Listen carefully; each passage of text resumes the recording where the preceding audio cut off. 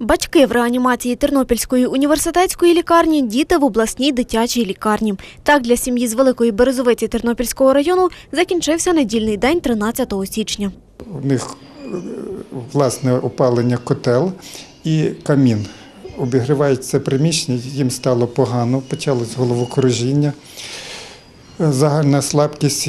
Першою замітила е, такі симптоми дружина. Після цього стало погано чоловікові і дітям. Дітей у сім'ї троє: дві дівчинки віком 7 та 13 років і наймолодший трирічний хлопчик. Зараз дітям значно краще, кажуть лікарі. Невдовзі вони повернуться додому. Випишуть на днях і їх батьків. Після проведеного лікування в нас е, чоловік і жінка е, виздоровіли практично.